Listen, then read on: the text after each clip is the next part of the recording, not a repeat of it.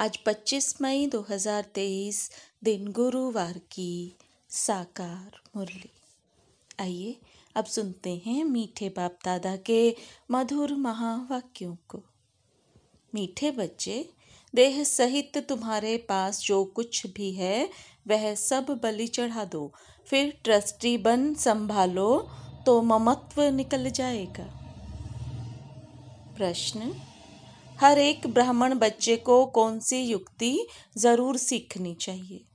उत्तर, service करने की युक्ति ज़रूर सीखो।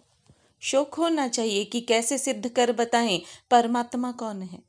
तुम्हें बाप की श्रीमत मिली हुई है। सेंसिबल बन सबको बाप का पैगाम सुनाओ।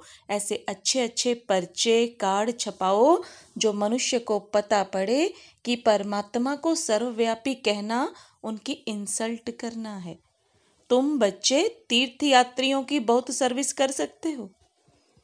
गीत, जिसका साथी है भगवान। ओम शांति। बच्चों ने गीत सुना।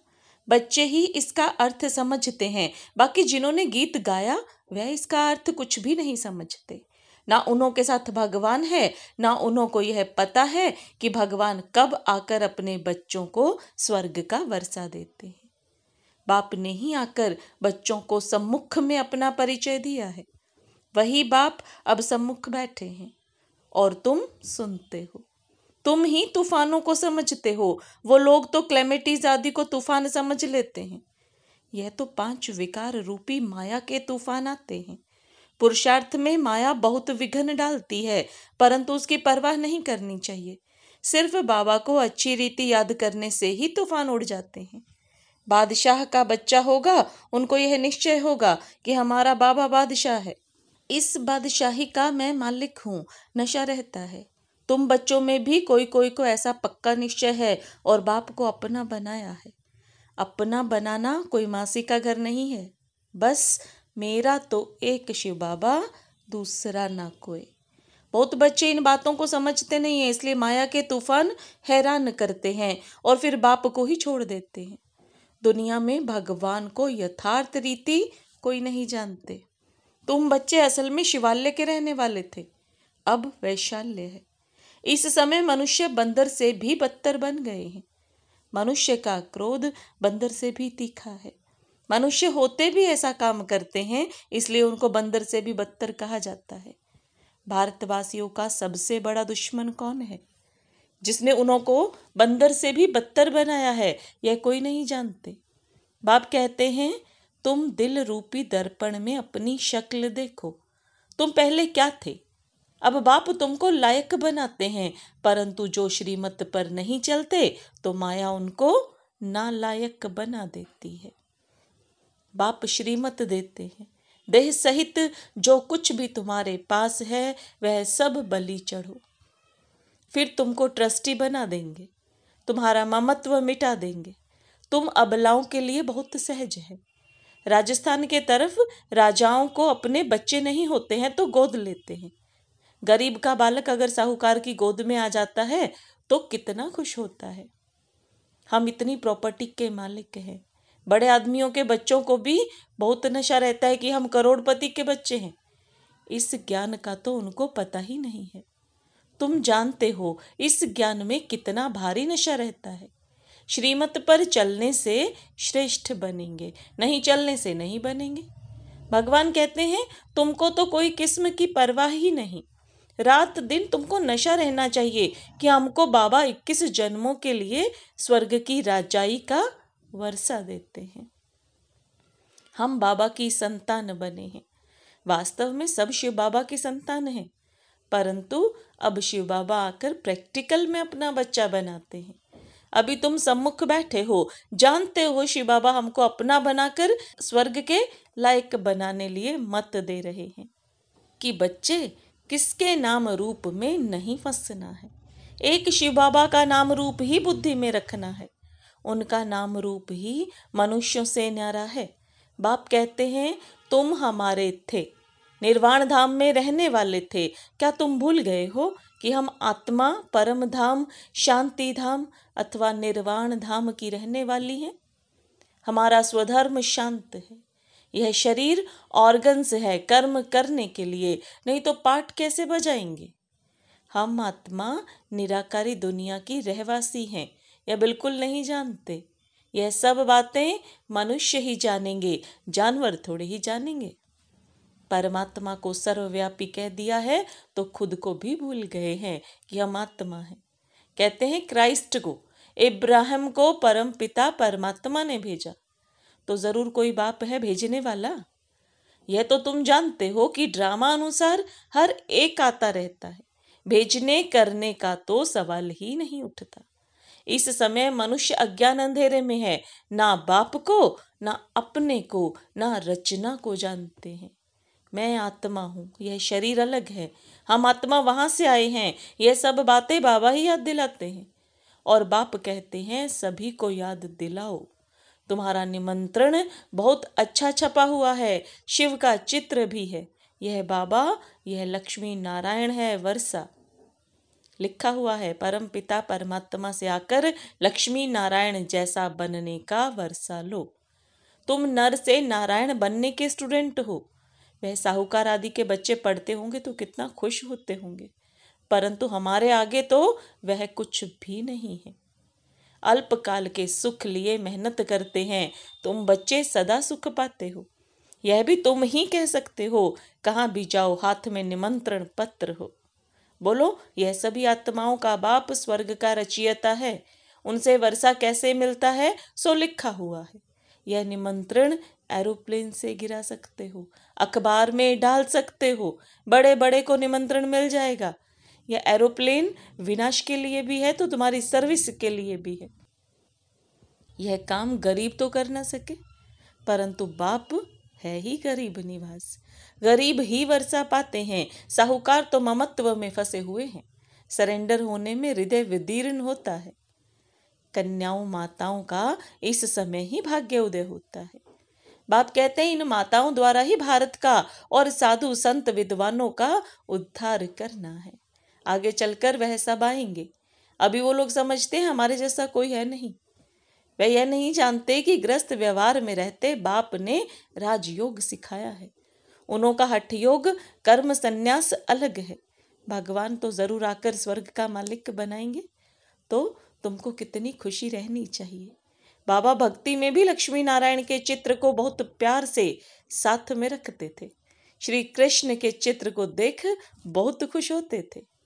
बाबा बच्चों को समझाते हैं कि अपना और दूसरों का कल्याण करना है तो सर्विस में लग जाओ। एम ऑब्जेक्ट तो बहुत क्लियर है। वर्षा है डीटी वर्ल्ड सावरंटी ऊपर शिव बाबा, नीचे लक्ष्मी नारायण। कितना सहज है समझाना। तो सबको निमंत्रण देना है। बेहद के बाप से स्वर्ग का वर्षा ज़रूर मिलना है। जहाँ बहुत लोग जाते हैं, वहाँ यह पर्चे ज़रूर फेंकने चाहिए। कोई कुछ कह नहीं सकता। अगर कोई कहे तो हम सिद्ध कर समझाएँगे कि बाप जिससे स्वर्ग का वर्षा मिलता है, उनको तुम सर्वव्यापी कहते हो। बाप कहते हैं, देखो, यह मेरी इंसल्ट करते हो। मैं स्वर्ग का मालिक बनाता हूँ, मुझे फिर भित्तर ठिक्कर में डाल दिया है। अब तुम्हें श्रीमत मिलती है कि यह पर्चे खूब बांटो। अमरनाथ की यात्रा पर झुंड जाता है। वहाँ जाकर बांटो। इसमें लिखा हुआ है, यज्ञ, तप, तीर्थ आदि से मैं नहीं मिलता हूँ।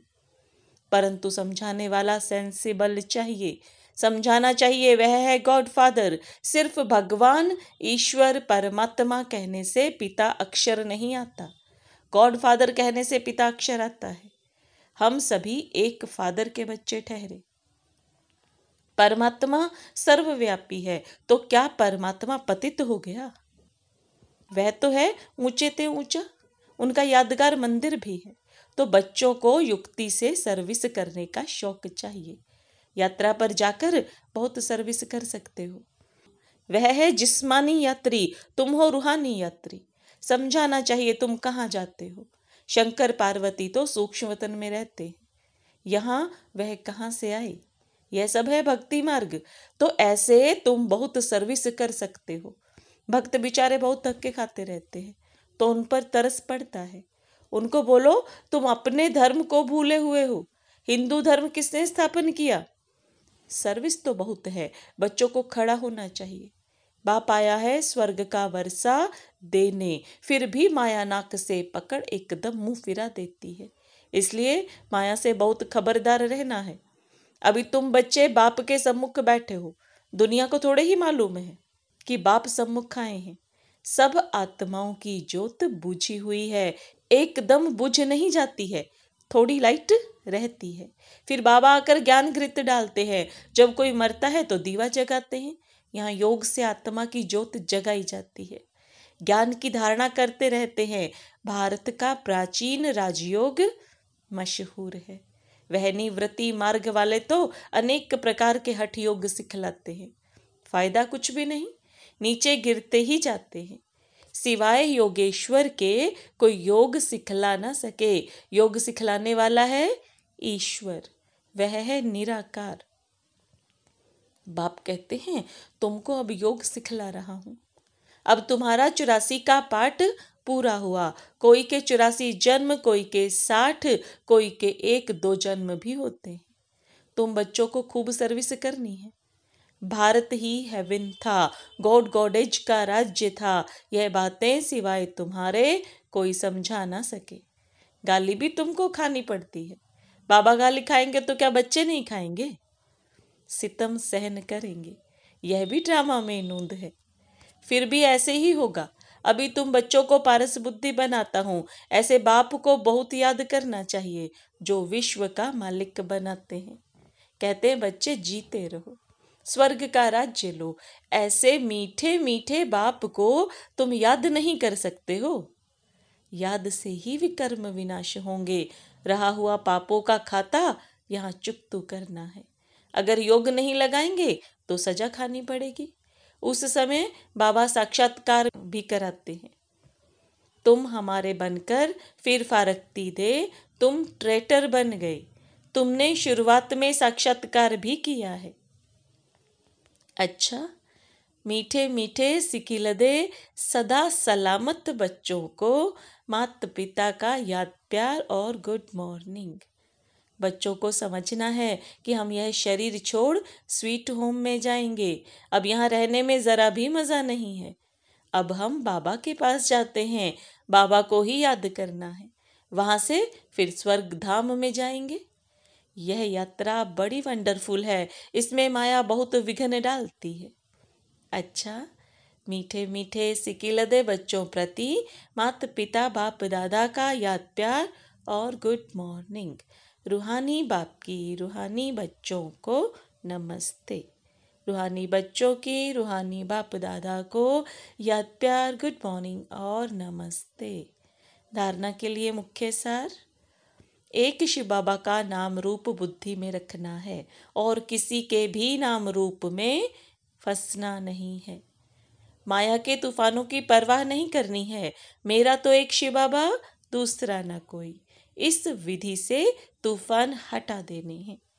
वरदान, सदा यथार्थ श्रेष्ठ कर्म द्वारा सफलता का फल प्राप्त करने वाले ज्ञानी योगी तू आत्मा भव। सदा यथार्थ श्रेष्ठ कर्म द्वारा सफलता का फल प्राप्त करने वाले ज्ञानी योगी तू आत्मा भव। अब आप दादा के वरदान को विस्तार में समझें। जो ज्ञानी और योगी तू आत्मा है, उनके हर कर्म स्वतः युक्ति युक्त होते हैं। युक्ति युक्त अर्थात सदा यथार्थ श्रेष्ठ कर्म। कोई भी कर्म रूपी बीज फल के सिवाय नहीं होता। जो युक्ति युक्त होगा, वह जिस समय जो संकल्प, वाणी या कर्म चाहे वह कर सकेगा। उनके संकल्प भी युक्ति युक्त होंगे। ऐसे नहीं, यह करना नहीं चाहता था, हो गया, सोचना नहीं चाहिए था, सोच लिया। राजयुक्त योग युक्त की निशानी है ही युक्ति युक्त स्लोगन, जिनकी दिल बड़ी है, उनके भंडारे सदा भरपूर रहते हैं। जिनकी दिल बड़ी है, उनके भंडारे सदा भरपूर रहते हैं। ओम शांति। show.